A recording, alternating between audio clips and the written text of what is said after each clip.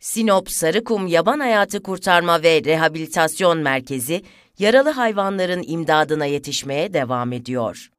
Buraya gelen hayvanlarımız genelde işte kartal, doğan, şahin, kurt, bozayı, karga şeklinde yaklaşık 39 farklı türde hayvanın tedavisi burada yapılıyor. Tekrar doğaya salınıyor.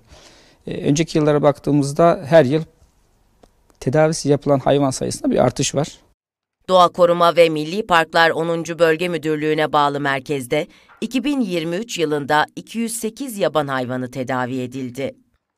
2023 yılı içerisinde yaklaşık 313 adet yaban hayvanı buraya getirildi. Ve bu hayvanlardan da yaklaşık 208 tanesini tedavisi ekipteki arkadaşlarımız tarafından yapıldı ve tekrar doğal yaşam alanlarına salındı. Bölge Müdürü Orhan Çatalçam, şifa olma gayretimiz ve çabamız devam edecek dedi. Burada e, ameliyathane dahil iki tane veteriner arkadaşımız var. Her türlü cerrahi operasyon burada gerçekleştiriliyor.